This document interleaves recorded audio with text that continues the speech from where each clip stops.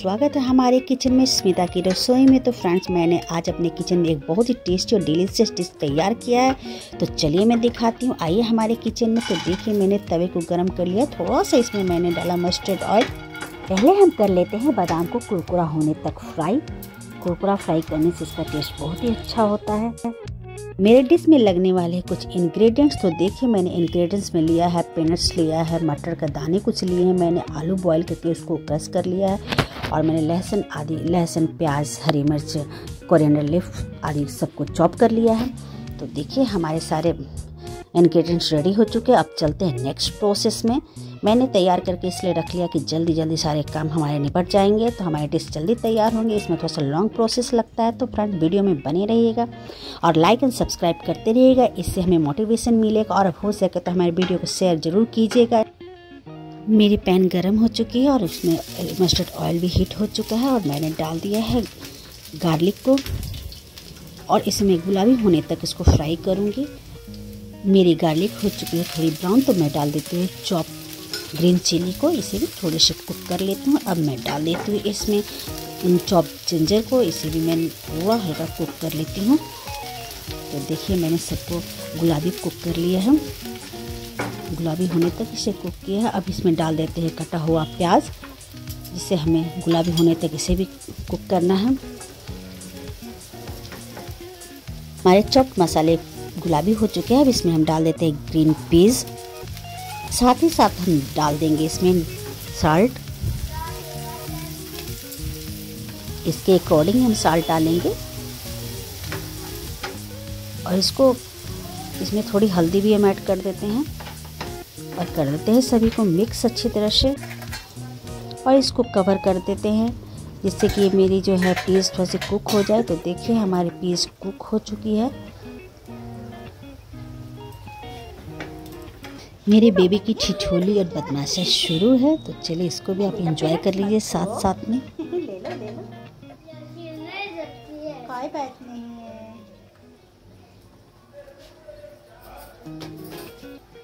क्या कर? रहे हैं योगा कर रहे हैं। एक्सरसाइज तो चलिए चलते हैं नेक्स्ट स्टेप में क्योंकि हमारे पीस भी कुक हो चुके हैं। हम इसमें थोड़ी चिली फ्लेक्स भी डाल दे रहे हैं। ये तो ऑप्शन है आप डालो या ना डालो। ये हमारे सारे मसाले कुक हो गए हम डाल देते हैं क्रश किए हुए आलू को जो कि मैंने बॉईल करके क्रश करके रखा था। और हम इसे आलू को अच्छी तरह से इसमें मिक्स कर देंगे और थोड़ी देर के लिए इसको करेंगे। हमारे आलू में सारे मसाले मिक्स हो गए हैं और हम इन सारे आलुओं में मोटे मोटे जो आलू हैं तो सारे सबको हम इस चूल्हा की तरफ़ मिक्स कर दे रहे हैं। तो नहीं होगा तो हम मिक्स कर देंगे।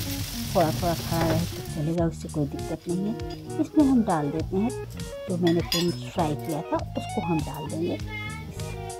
और गार्निश कर देंगे हम हरे धनिए से। तो फ्रेंड्स, देखिए कितना सुंदर टेस्टी और डिलीशियस बन के मेरी स्टफिंग तैयार हुई है।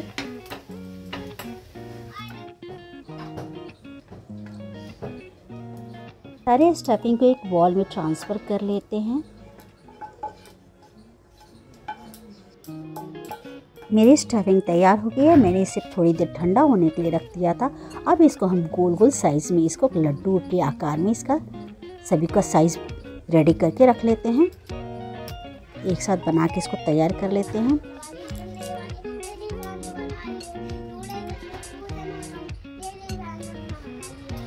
मेरे स्टफिंग के सारे लड्डू बन के हो गए हैं रेडी तो देखिए, मैंने इस तरह से सबको लड्डू बना के रेडी कर लिया है। मिक्सी चला रहे हो। अभी हमारे डिश बनाने के लिए कुछ और चीज़ें को इकट्ठा करना है तो चलिए ये देखिए। मैंने एक मशीन लिया है, जिसमें हम करेंगे अपने एग को बॉयल तो चलिए करते हैं अपने एग को बॉयल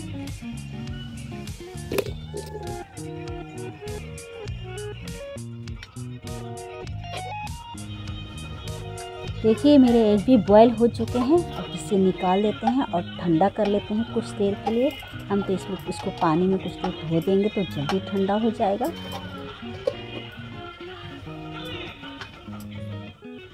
देखिए, मैंने इसे पानी में धो लिया था। अब इसको हम छील लेते हैं। ठंडा हो गया है मेरा अंडा।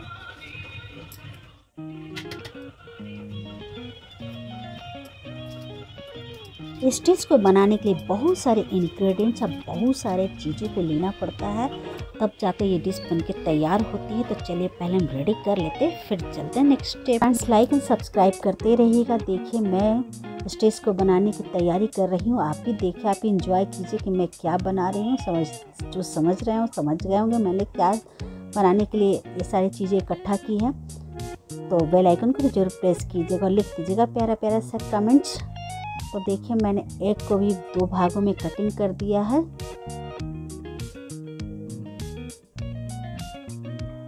हम चलिए रेडी करते हैं अपने डिलीस और टेस्टी डिश को बनाने की तैयारी शुरू करते हैं।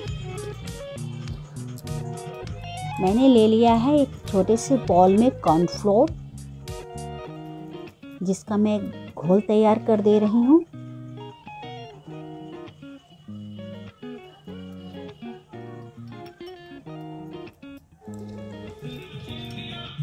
ये देखिए, मैंने घोल तैयार कर दिया। इसका घोल ज़्यादा थीन नहीं होना चाहिए, मोटा ही होना चाहिए। और मैं चलिए, एक छोटे से बॉल में मैं ले ले रही कुछ ब्रेड क्रम्स, जिसमें मैंने ऐड कर दिया थोड़ी हल्दी और थोड़ी लाल मिर्च पाउडर और मैंने थोड़ी चाट मसाले भी इसमें यूज़ कर दिए और चलिए, सबको आपस में हम मिक्स कर दे रहे हैं। इसमें मैंने नमक भी डाला है। तो चलिए, इसको मिक्स कर दे रहे हैं।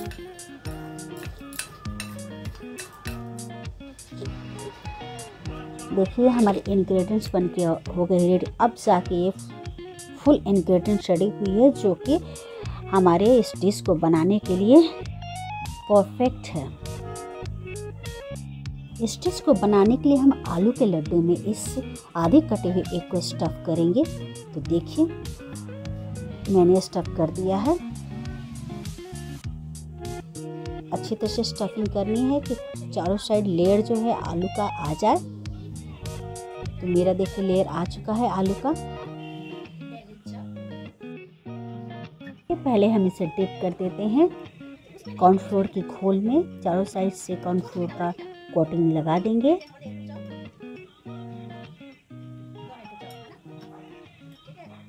तो ये हमारी हो गई है। अब हम इसे ब्रेड क्रम्स में अच्छी तरह से लपेट करके चारों साइड से ब्रेड क्रम्स का भी कोटिंग कर लेते हैं। और ये देखिए, मैं इस तरह से मैं सभी का बना करके रेडी कर देती हूँ। एक एक बना करके रख दे रही हूँ।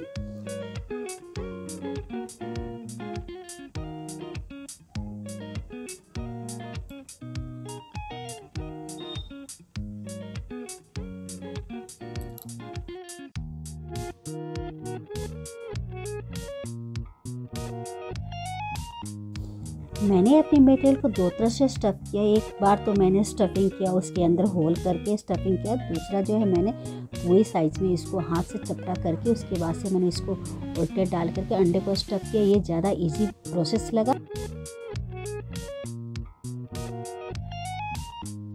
ये हमारे डेविल चप हो गए हैं। फ्राई होने के लिए रेडी हम इसे करते हैं। फ्राई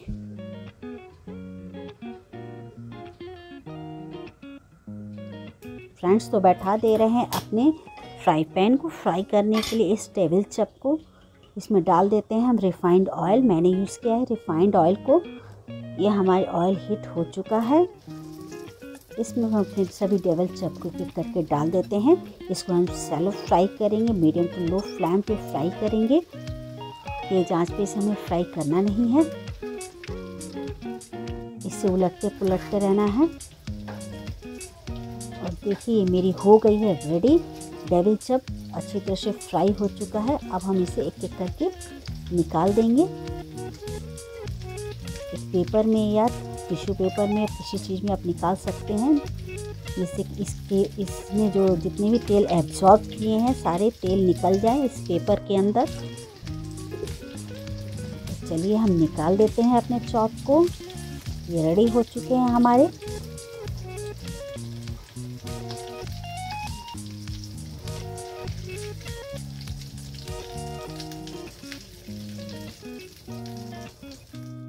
तो चलिए करते हैं प्लेटिंग इस डेविल चप को।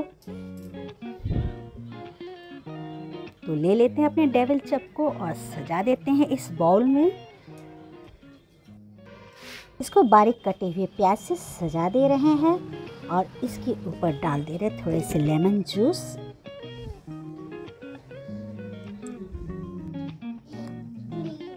और हम डालेंगे ब्लैक साल्ट। और चाट मसाला।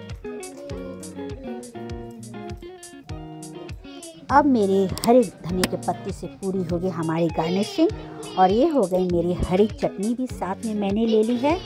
तो इस तरह से मेरी डेविल चप की पूरी डिश हो गई है रेडी। तो चलिए इसको खाते हैं और इंजॉय करते हैं फ्रेंड्स। अगर वीडियो हमारी अच्छी लगती है तो आप लाइक एंड सब्सक्राइब ज़रूर कीजिएगा शेयर ज़रूर कीजिएगा और लिख दीजिएगा प्यारा प्यारा सा कमेंट्स और आप हमें ज़रूर बताइए कि आप कहाँ से हमें देख रहे हैं। मुझे भी अच्छा लगेगा कि मेरे वीडियो को कहाँ कहाँ से लोग देख रहे हैं। तो फ्रेंड्स मिलते हैं नेक्स्ट वीडियो में नेक्स्ट रेसिपी के साथ। Okay bye bye see you take care